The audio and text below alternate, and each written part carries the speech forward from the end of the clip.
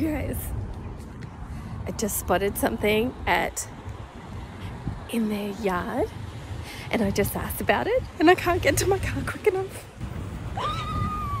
okay, go. I'm not gonna lie, I'm feeling a little, a little timid to jump into another big project, but guess what you guys, I'm just about to do that. If you haven't seen my last video where I made over a desk into nightstands, gave it an industrial look, if you've seen those videos, you'll know that they that took me close to a month to make over. I'm hoping that this next piece that I'm doing does not take me that long.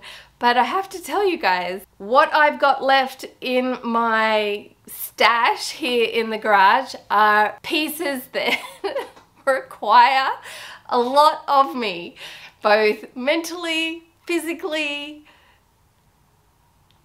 I don't know, just require a lot of me and I keep pushing them to the back but I don't have any easy pieces left to paint so I am up to my hard pieces, my in-depth pieces.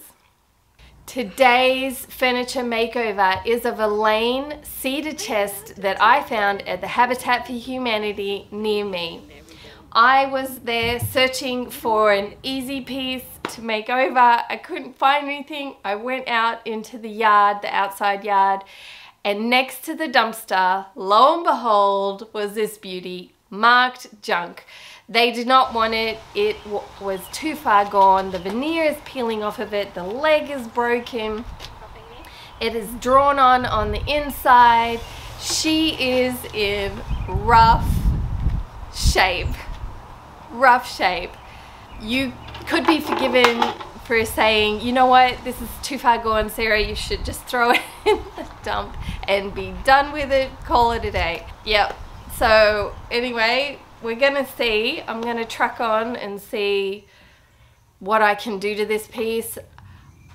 I'm gonna take it one step at a time. I kinda have a direction in which I'm going, but you're gonna have to stick around to the end to see how it turns out. If you do this for a living or even as a side hustle, you know sometimes these pieces don't turn out how you first envision, but you sort of just have to go with the flow. And so that's what we're gonna do. We're gonna go with the flow today.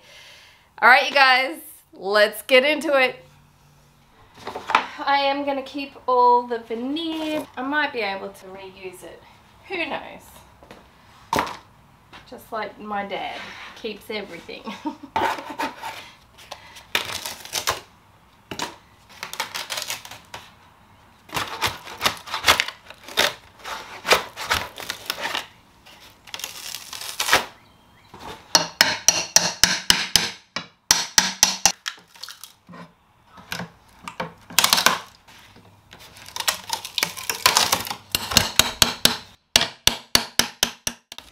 Listen, what can I say here? Probably nothing new really, but still a heartfelt thank you to my members. You guys are the sweetest and I just want to say thank you. Thank you for your support and your encouragement and for just being there and yeah, I'm just grateful. Grateful for you guys. Am I even turning it? No, I'm not.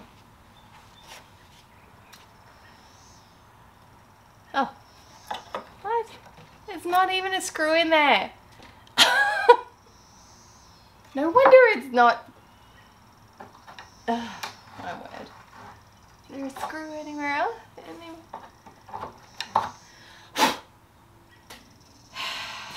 okay. oh, you gotta laugh or you'll cry.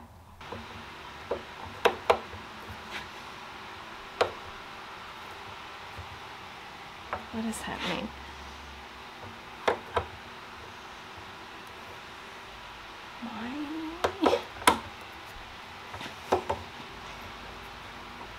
Like it goes in, I feel it, and then somehow it magically slips out even though I'm like pressing on it.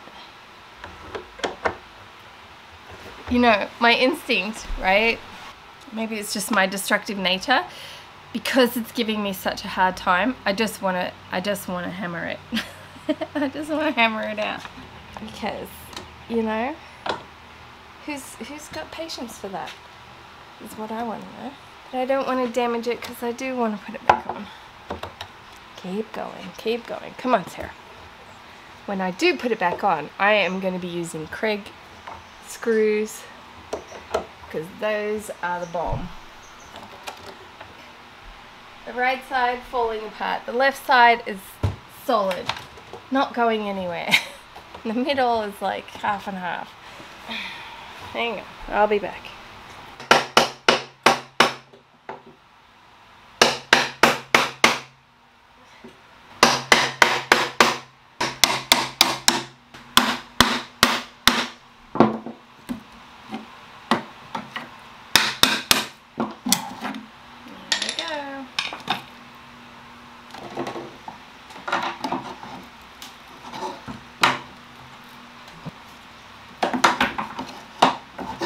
Alright.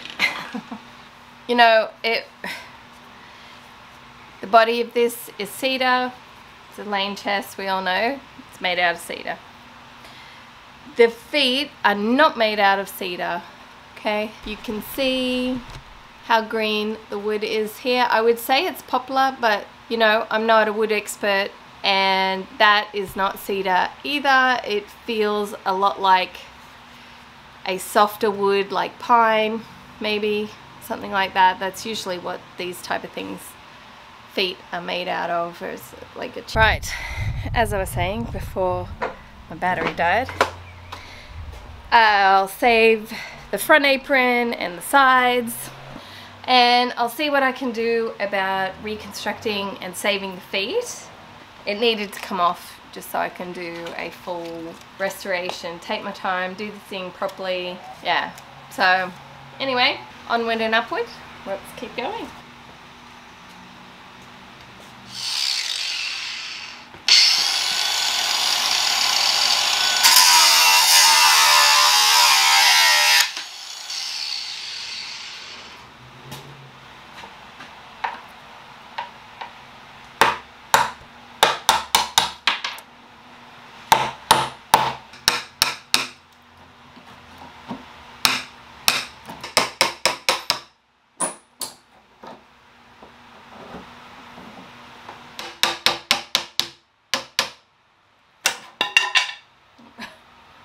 probably could explain at this point.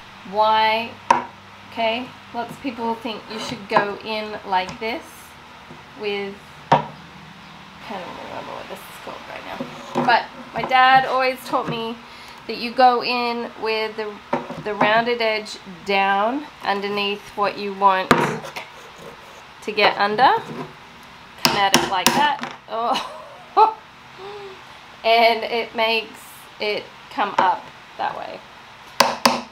Right? See how it slipped under? Luckily I'm not keeping these parts.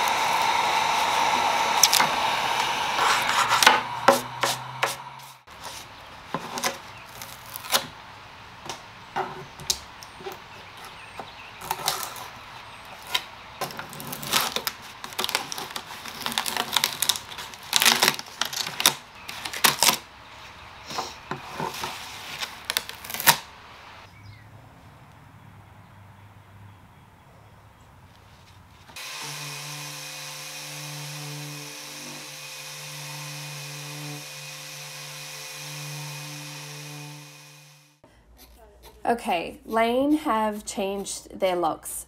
In 1987 is when they did this. They, for safety reasons, changed it so that if anybody got locked inside, they could get out of the chest. So this is an old lock and I am removing it, but I actually end up putting it back on and just removing the top clasp just so it still had the appearance of the lock, but it's actually not lockable anymore for safety reasons.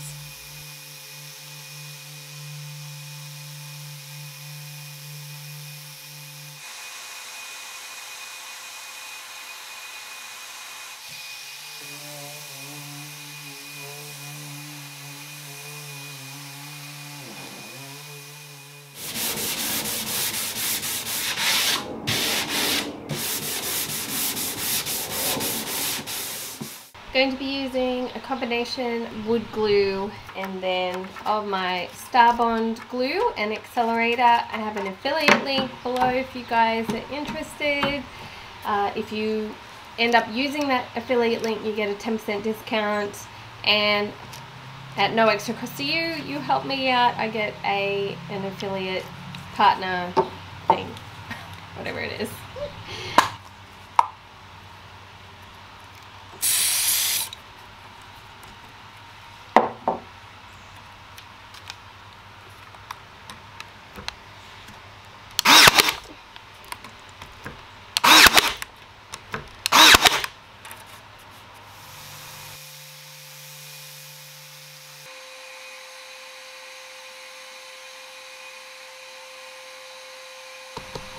Did you like that little trick?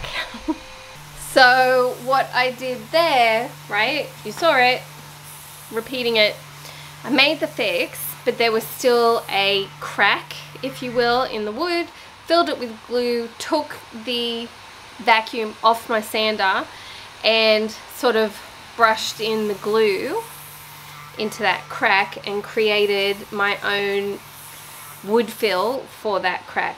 I think I'm to need to uh, possibly do it again. Uh, but that's a that's a neat little neat little trick there to use some wood dust to make your own wood fill that's the same color as the piece you're actually sanding. So there you go. Alright. Keep on going.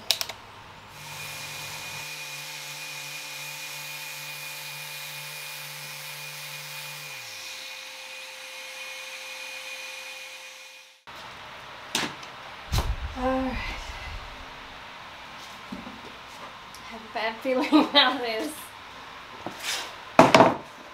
Okay. See right here? It's popular, po popular. It's poplar. And this right here, this, oh, you can't even see, Sarah. Come on. This right here, that's like, I don't know, a couple mil thick. It's cedar. So it's lined in cedar, the top, but the rest of it is going to be poplar, probably trimmed out. That's trimmed out, and this is, and it's trimmed out there, and a veneer on the top.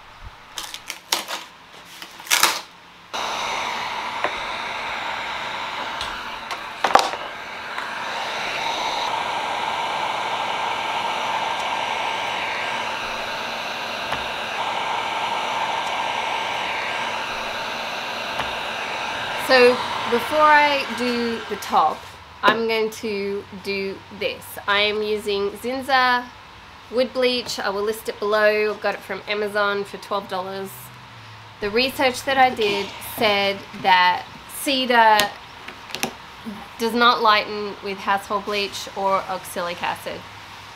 So some people have had luck with this Zinza two-part wood bleach.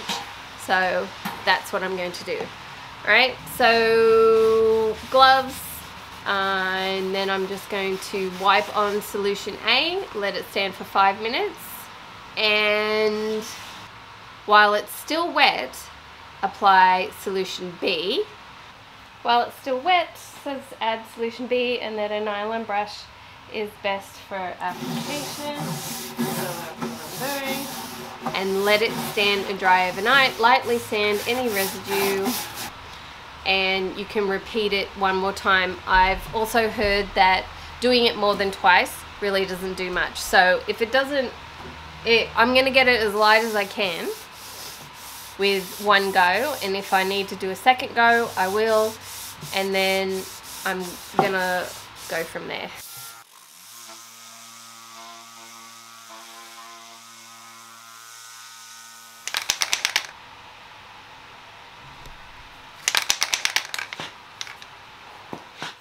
So the top's primed and looks really good. The primer, I already knew about it, but the primer really shows off what I need to wood fill.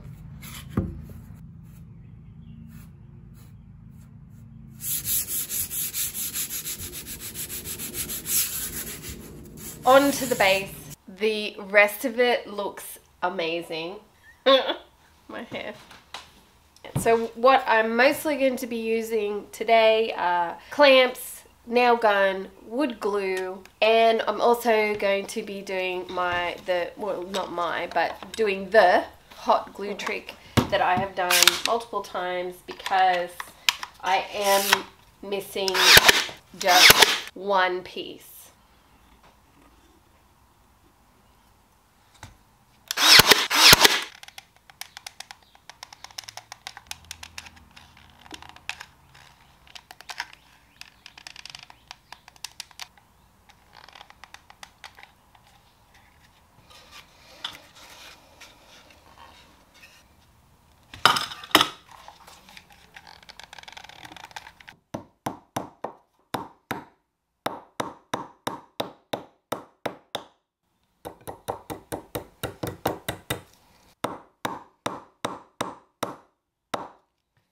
So that's acting as rebarb. If you've guys seen my hot glue trick video, you'll know that. The nails should never be higher than the Bondo that you're putting on there.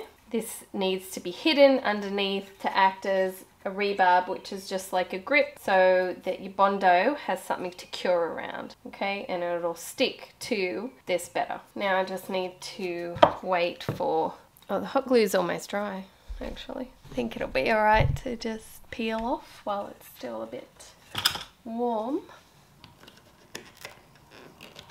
Actually, it's probably better than what I've done in the past, which is I've waited for it to completely dry and it was harder to peel off than this is peeling off really easy.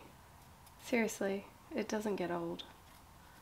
I've done this a lot of times now. Mm, that's super cool. Okay,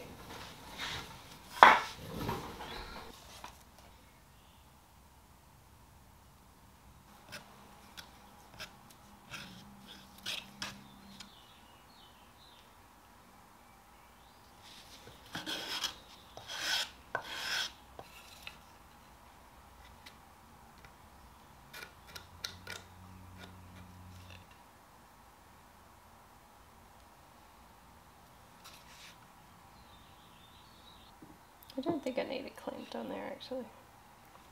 It's on there pretty good.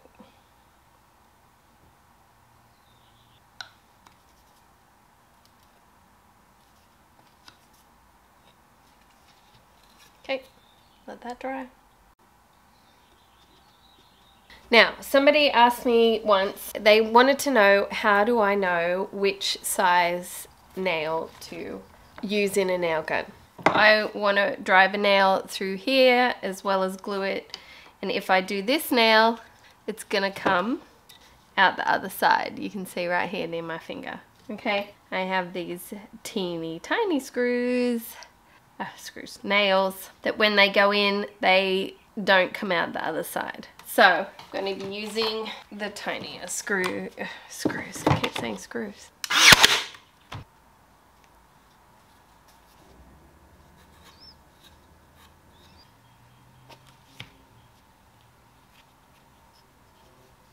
Not going for perfection here on these legs. I am just going to hand sand using my little sanding block. Love this thing. It's linked below. It's um, velcroed there so it sticks, the orbital pads stick right to it.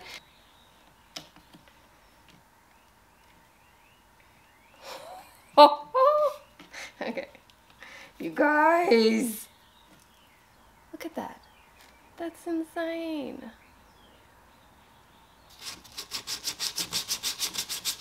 When you start sanding Bondo, you want to mask up.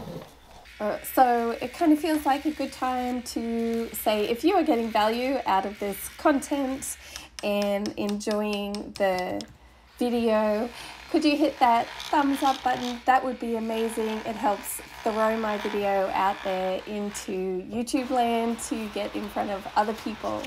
And maybe just leave a comment below. That also helps you guys. They are free ways which don't take a lot of time for you to be able to help me out.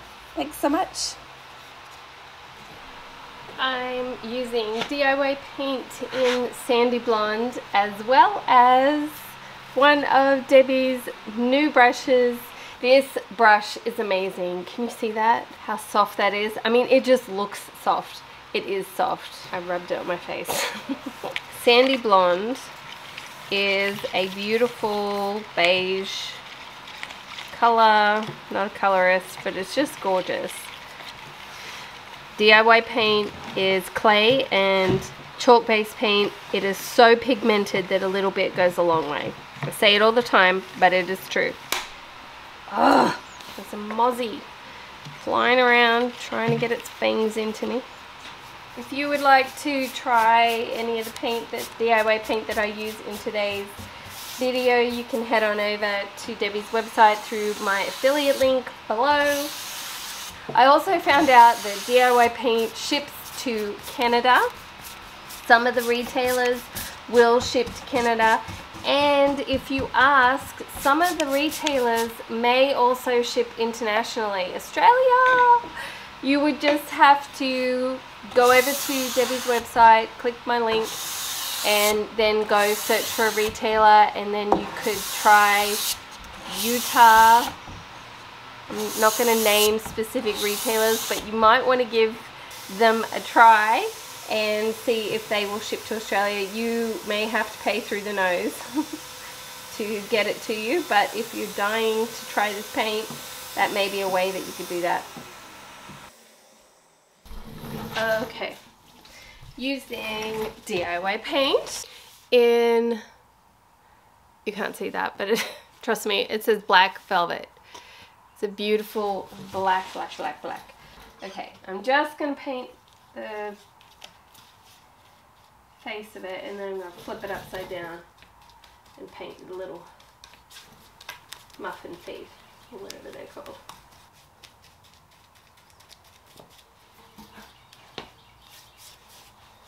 Okay, here's the repair, you guys. Look at it. You can't, other than it being a different color, you can't tell. And in a second, when I paint it, you're still not going to be able to tell.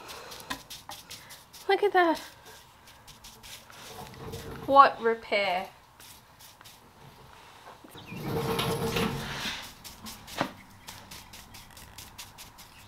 Alright. Sounds of summer. my fan is going it was pointing right on me I need it so sorry about that eh, whirring sound in the background but otherwise I'll keel over and we don't want that do we guys okay I painted it black honestly I didn't like the way that it looked the harshness of the black. So I'm gonna dry brush sandy blonde on top of the black. And I think that that is gonna help me like it better. Okay, you guys, I have tried and tried and tried. I've tried, uh, kid you not, I've three different times I have tried to finish this thing. I had so many ideas. I did line art, but then I didn't like the way it looked, so I wiped it off. I'll show you a small clip of it if I still have it. I probably deleted it. and I knew this already because DIY paint is so pigmented and even though it was sealed, the cho layered chocolate because of how pigmented it is it I can still see what I attempted the first time so then I did this beautiful well not beautiful because it wasn't beautiful. Um, I tried to do like a watercolor painting thing. I didn't like it. So I reset it wiped it off. It was fine. I just tried a stencil. I definitely deleted that footage already. I was going to use this stencil sort of right here, frame it out. I tried it, you guys. I hated it. No, not what I was after. So I have sort of given a distressed look to the frame. I've dry brushed the bottom. I'm gonna go for this. Love it, love it, love it, love it. It's Val Unique Design on Pinterest. Found it, loved it. I should have just went with my gut in the first place. Has some greens, has some stamps, has some browns and the blacks and the all the things. So I'm going to just play. I've got some colors here. I'll probably get some more colors later and I am just going to layer it up you guys. Here we go. I know and I'm also going to cop flack because I went through the whole effort of sanding back and then bleaching the cedar. You know, it's not really a wasted step because now you know that that two-step A and B wood lightener lightens cedar, Caesar, Caesar, lightens cedar. So, yeah, it's a shame that I'm about to paint over it all, but I am. I wish that my ideas worked out, but they didn't. So moving on, you know you can bleach cedar. We'll say that that was the lesson that we got out of that. If anyone was curious, there you go. There's your answer.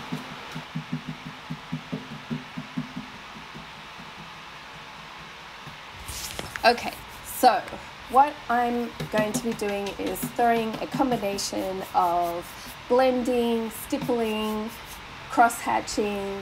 I just want texture and I want it all on there. And you guys, like I said, I'm just playing, letting loose. If I think one section is not heavy enough, I go a bit heavier. If it's not light enough, uh, I add some more lighter colored paint. I just enjoyed myself because I had frustrated myself so much with attempting three different things on this piece that I just wanted to relax and enjoy and have fun. And honestly, I think some of my frustration was definitely self inflicted because I had done that bleaching and was so disappointed that I had done that step, but only to cover it all up. But you know what? it is what it is. And once I let go of all of that effort and everything that I had done and just decided it was more important at this point just to enjoy myself and get the piece done, I let go and I had fun and I just I just relaxed and settled right into it and ended up getting a end result that I'm super proud of.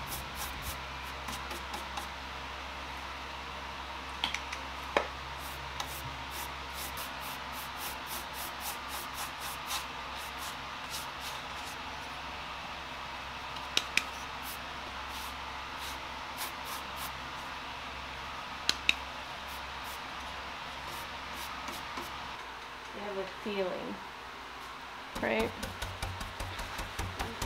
Before we get to the finishing touches, I just wanted to say thank you Teresa and Mark who bought me coffees this month. You guys rock and I am super grateful.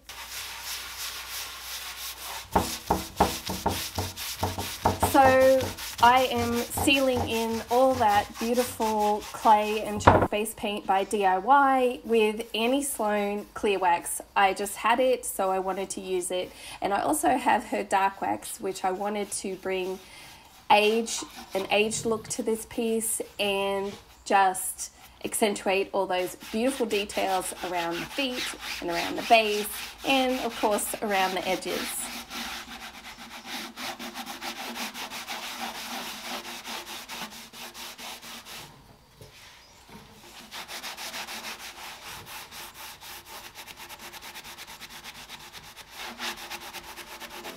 Okay, here is a quick look at the before.